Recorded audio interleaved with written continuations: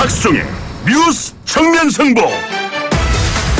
안녕하십니까. 1월 19일 금요일 여러분의 퇴근 시간을 동행하는 곽수중의 뉴스청면 승부 시작하겠습니다. 2025년 이후면 만 65세 이상 고령 인구가 전체 인구의 20%를 넘는 초고령화 사회로 들어갑니다.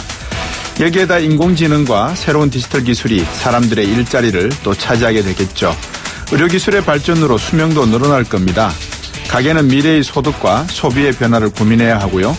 정부는 국민연금, 건강의료보험 등 국가 재정을 어떻게 마련하고 질출할 것인지 지금부터 미리미리 고민해야 되겠죠.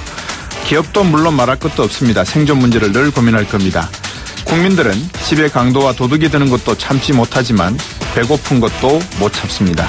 역사라는 강물은 지금도 흐르고 있는데요. 청취자 여러분 잊지 마십시오. 그 역사의 주인공은 바로 우리들 민초고 국민이었습니다. 뉴스 정면 승부 시작하겠습니다.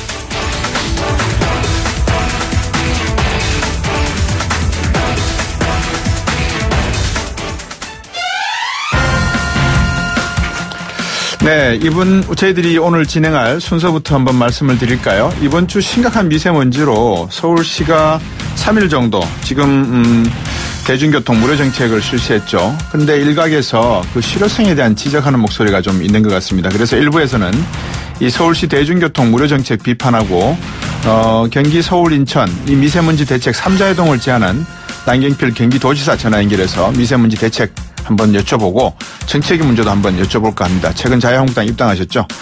2부에서는 국민의당과 바른정당 통합추진협의체에 참여하고 있는 국민의당 이현주 의원 전화 연결해 보겠습니다. 두 당의 통합 이야기 나눠보도록 하겠습니다. 오늘 무슨 젊은이들하고 정치 토크쇼를 했다는데 어떤 내용이 오갔는지도 한번 들어보고요. 그리고 이 개물림 사고가 연달아 지금 발생하고 있지 않습니까? 그래서 정부가 반려견 안전관리 대책을 발표한 것 같습니다. 이 목줄과 입막의 의무화에 대한 내용이 담겨져 있는데요. 3부에서 반려동물 심리 전문가인 이웅종 연암대학교 교수와 전화 연결해서 안전대책 한번 짚어보도록 하겠습니다. 그리고 곽수진의 유수정면 승부 금요일 코너죠. 오늘은 정치하는 엄마들 시간인데요. 유치원 영어교육 금지 정책과 아이들의 교육 문제, 정치하는 엄마들 대표 장하나 전 의원과 함께 이야기 나눠보겠습니다.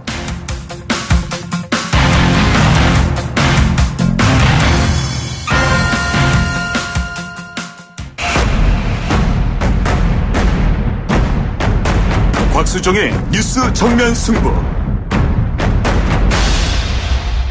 네, 제가 방금 소개해드렸던 그 인터뷰 순서를 제가 아, 잘못 읽어드린 것 같습니다. 사실은 이웅정 교수 인터뷰를 먼저 하는 걸로 저희들이 반려견 문제 이야기를 먼저 나누는 걸로, 나누는 걸로 그렇게 하도록 하고요.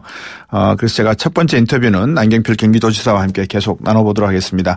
아, 지금 서울시는 여러 가지 미세먼지 대책 저감장치 이 조치 이야기를 하고 있는데 남경필 경기도지사는 이게 포퓰리즘 정책이다라고 보시는 것 같습니다. 이 문제 풀기 위해서 서울, 경기도, 인천 3자 회동하자 이렇게 하셨는데요. 직접 한번 들어보겠습니다. 안녕하십니까? 네, 안녕하십니까? 네. 서울시 미세먼지 비, 비상 저감 조치 이게 포퓰리즘 정책입니까? 그 사실은 대책이라고 하기도 사실 민망해요. 예. 왜냐하면 효과가 없거든요. 아, 효과가 없다고 보시는 거예요? 네, 효과가 거의 없어요. 네. 그 근데 예산은 엄청나게 들고요. 네. 뭐 벌써 한 이 365일 동안 쓰도록 한 예산이 지금 벌써 1월 10 며칠 됐는데 거의 절반 다 썼잖아요. 네. 아, 저는 이거 밑빠진 독에 물 붓듯이 돈은 쓰지만 효과는 없는 정책이라 네. 중단하시기를 다시 한번 촉구합니다. 예. 그, 말씀하셨다시피 이걸 혜택을 직접 느끼기는 많은 서울 시민들이 이 조금 약한 정치인 것 같고 또 경기도에 사시는 많은 출퇴근하시는 분들도 형평성의 문제를 말씀하시는 분도 계시고 네. 어뭐 이게 포퓰리즘 정책이라는 지적도 거기에 아마 연유해서 나오신 것 같은데 경기도 상황은 어떻습니까 지금? 제가 조금 더 말씀을 드리면 그러시죠? 프랑스 파리가 이 정책을 과거에 한 적이 있어요. 네네. 거기는 뭘 했냐면 네. 대중교통 무료 운영을 하면서 예. 아예 강제로 차량 이부제를 실시했습니다. 예. 그런데 미세먼지 감소 효과는 6%밖에 없었던 거예요. 예. 그러고 나서 이, 이, 포기를 했습니다. 네. 그래서 2017년엔 아예 그냥 이 정책을 한 300억 정도 쓰고 나서는 예. 효과가 없다. 예. 이렇게 그 포기를 했는데 강제로 이부제를 해서 차량이 흐름이 좋아졌다 했는데도 사실은 효과가 별로 없어서 포기한 거죠. 왜 그랬습니까? 프랑스는? 효과가 했는데 효과가 없는 거예요. 그러니까 효과가 네. 없는 이유가 우리나라처럼 중국에서부터 불어오는 50%에서 70% 차지하는 미세먼지의 효과가 우리는 외부의 요인이 있다라고 보는 것이 어, 전문가들의 견해이신 것 같고 프랑스는 내부 요인이었습니까? 외부 요인이었습니까? 뭐. 아, 거기까지는 제가 뭐 예. 무슨 요인인지 정확히 파악한 건 아닙니다만 네네. 지금 자동차로 인해서 생기는 미세먼지의 비율이 그렇게 생각보다 크지 않다라는 거죠. 예, 예, 예. 그래서 이제 경기도나 인천도 함께 참여하면 효과가 좀 나타날까 이 말씀들을 나누실 생각이십니까?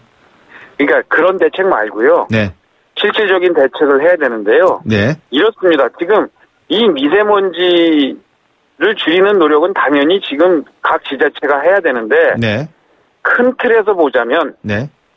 미세먼지를 줄이는 노력은 정부 단위에서 해야 돼요. 국가 단위에서. 그렇죠.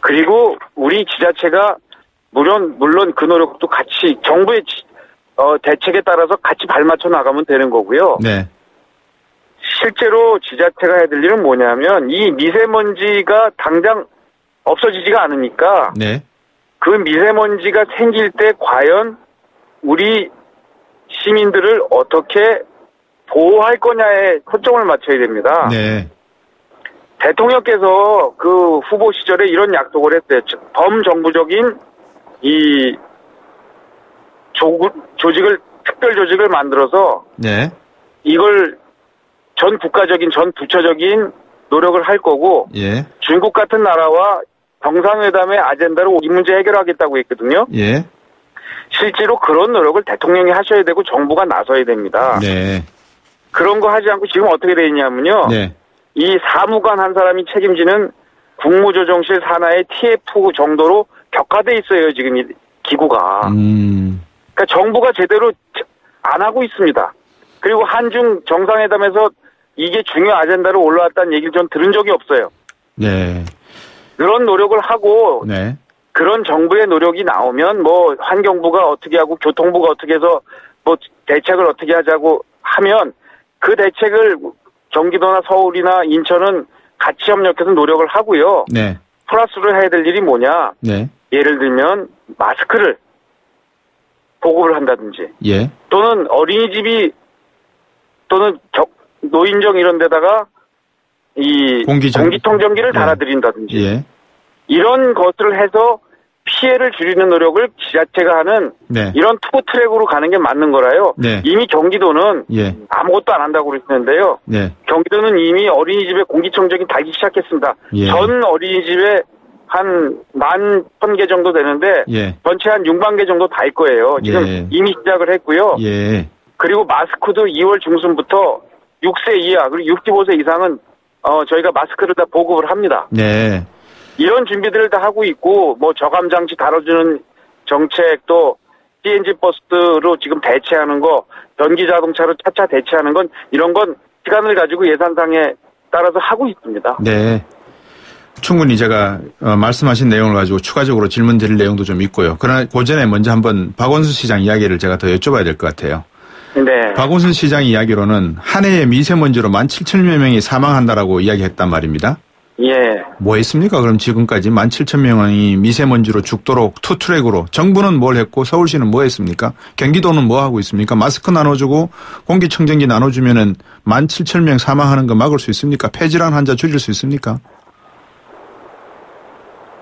무슨 질문인지 잘 모르겠습니다. 예, 박원순 시장 이야기가 한 네. 해에 미세먼지로 17,000여 명이 사망한다고 이렇게 지적을 했더라고요.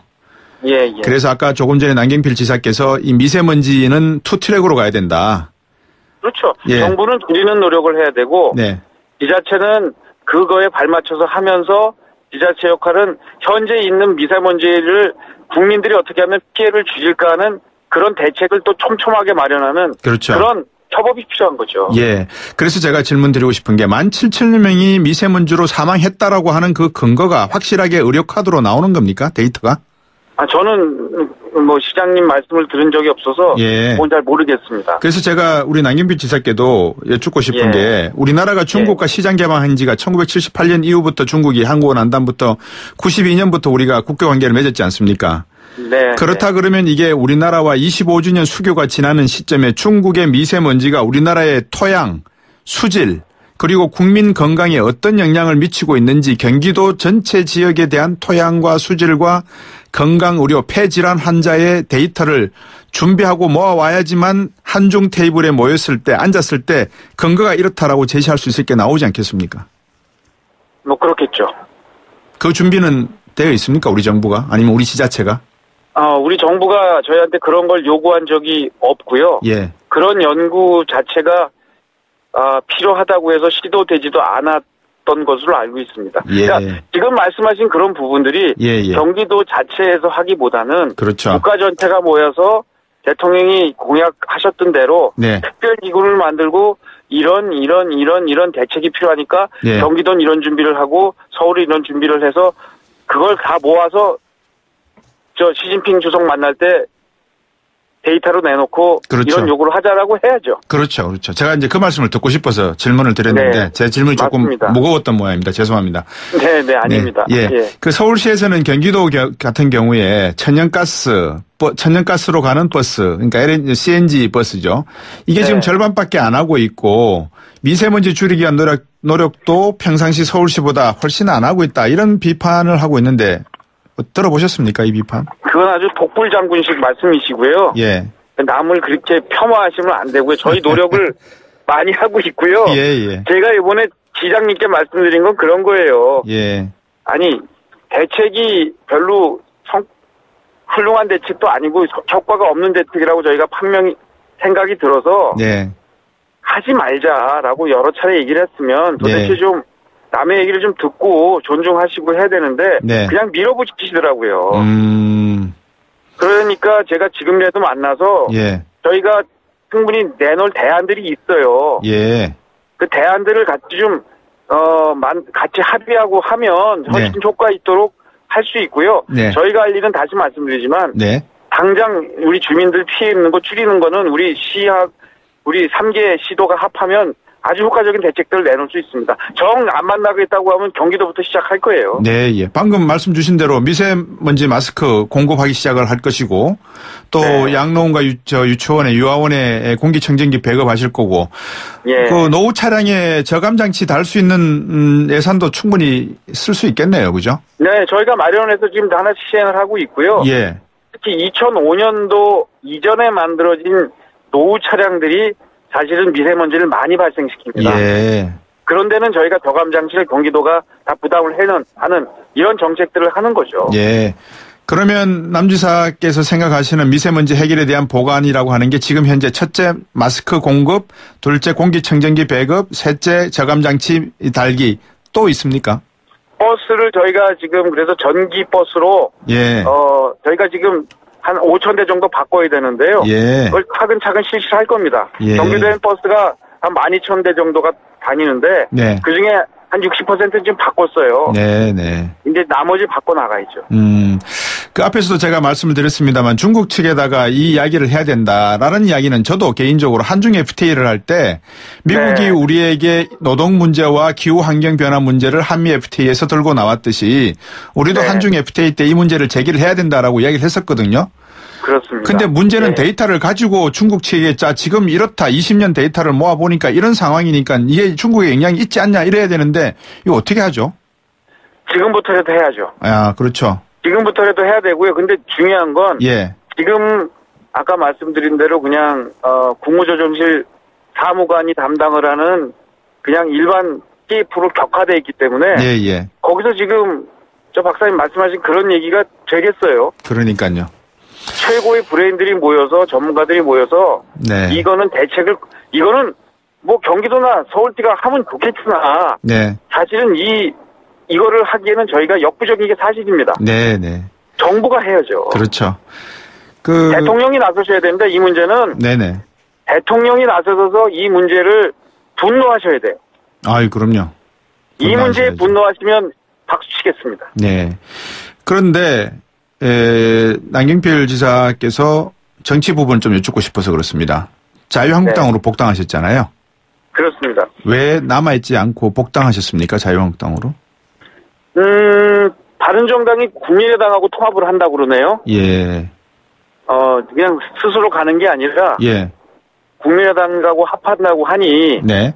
저는 그건 어, 순서에 옳지 않다. 어떤 순서에 옳지 얘기- 않습니까? 어, 저는 보수 통합 먼저 하고 예, 그리고 나서 중도로 외연을 확장하자라는 생각이거든요. 네, 근데 지금 바른정당의 유승민 대표님과 이런 분들은 지금 중도 통합을 먼저 하자라는 얘기라 네. 아 그건 나하고 생각이 전혀 다르니까 그 방향은 음, 아닙니다. 네, 라고 얘기했는데 결국 그 방향으로 가셔서 예. 그게 이제 거의 확정이 되는 단계까지 아, 왔기 때문에 예. 탈당을 한 겁니다. 근데 예전에는 국정농단 세력들 그리고 인적 청산이 되기 전에는 자유한국당하고 이런 정치하는 분들과는 함께 할 수 없다라고 하셨지 않습니까?